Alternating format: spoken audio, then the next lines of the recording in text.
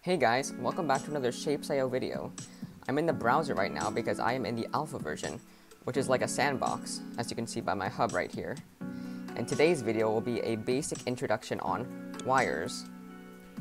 If you would like to gain access to the alpha mode, you need to join the Discord, and the link will be found in the description.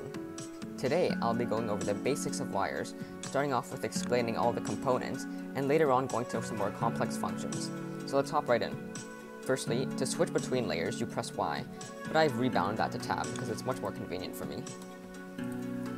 So for the wire layer, there are six main categories of components. There is the basic wire, which allows you to transmit a variety of signals. There are wire insulators, which allow you to place wires directly beside each other, or allow you to have crossing wire lines. There's the constant signal, which allows you to emit a signal of your choosing, which could be a 0, a 1, a color, or a shape. Next, there are the logic gates, which include AND, NOT, XOR, OR, and the gate. Next, there's the button, which is quite simple. You press it and it can either be on or off. And finally, there are the virtual shape manipulators, which I'll go over later. Now on the shapes layer, there are a few things that can either output a signal or take input signals, starting with the hub. The hub will output the current shape that it's requesting. As you can see, in this wire, it's, it's the current level shape. Next is storages. Storages will output the current thing it's storing into one side, and on the other side, it will output either a 1 if it's full, or a 0 if it's not, meaning if there are 5,000 items in the storage, it will output 1. Next, there are filters. Filters are a bit more complicated, and I'll talk about them later. But basically, they, they will filter out certain things depending on what you input into them. So if I input a 0, that means nothing will that means nothing will pass. But if I input a 1, that means everything will pass. And finally, there are displays. Now displays are pretty simple. If display uh, is inputted a 1, it will simply turn white. If it is inputted a color, such as red, it will turn red. And finally, if it's inputted a, shape, such as the basic square, that's the code for the square, it will display the square. Now let's start with wires. Wires can transmit a variety of signals, such as empty, the two binary signals, meaning 0 and 1, a color signal, such as green, a shape signal, like this square, and also wires can conflict.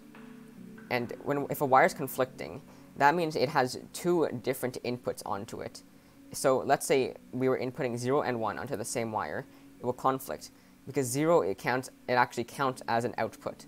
It's an output of 0. A way to avoid these things is by using OR gates. Because now, both of these are on different paths, and it's connected to a gate, so it will, not, it will no longer conflict.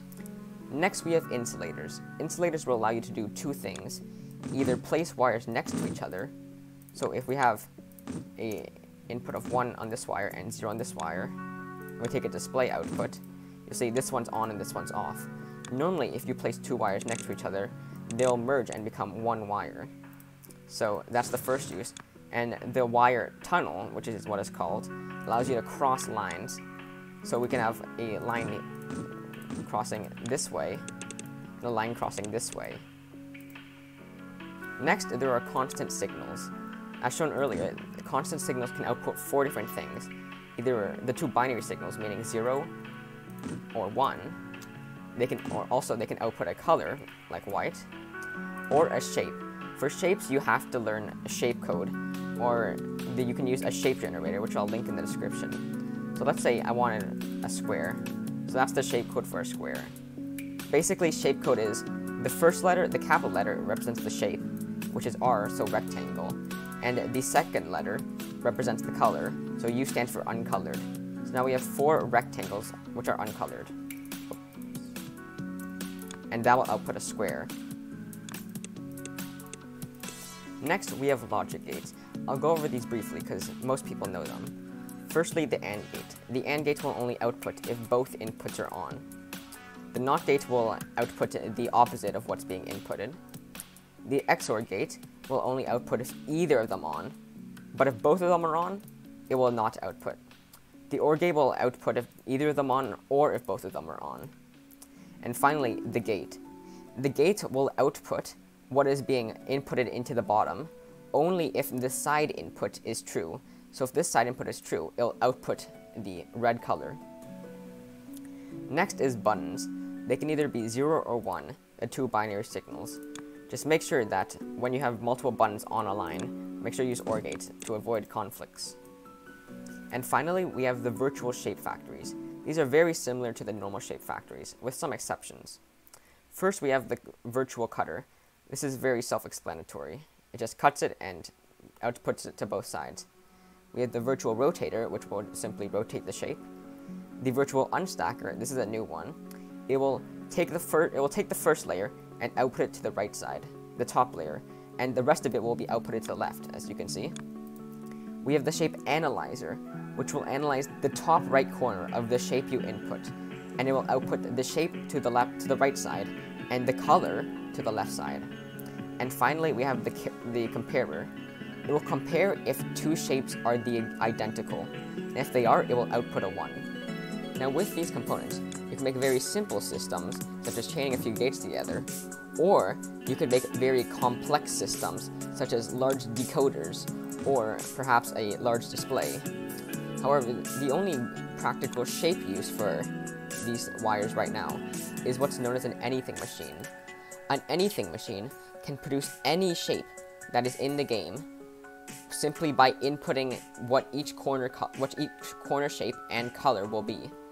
And currently, since the hub outputs the current shape it's requesting, you can actually make an anything machine automatic using the filters. Now I'm back in my main world, and as you can see, I have made some pretty complex things, such as binary adders, some 7-segment displays, we have binary decoders, some letter displays, and more. The most recent thing I'm working on is this grid display, which can display anything I, anything I choose to by using shape decoding. And if you want in future videos, I could explain these part by part, so to give you a greater understanding on how they work. Just let me know in the comments. Well, that's going to be it for this video. I hope this helped you understand the basics of wires. Make sure to tell me what you would like to see next video. If it's a decoder, or maybe you need help with something in the standalone, just tell me. Remember, the Discord link is in the description, and from there you can gain access to the alpha and play around with the wires yourself. Subscribe if you want to, and I'll see you next time.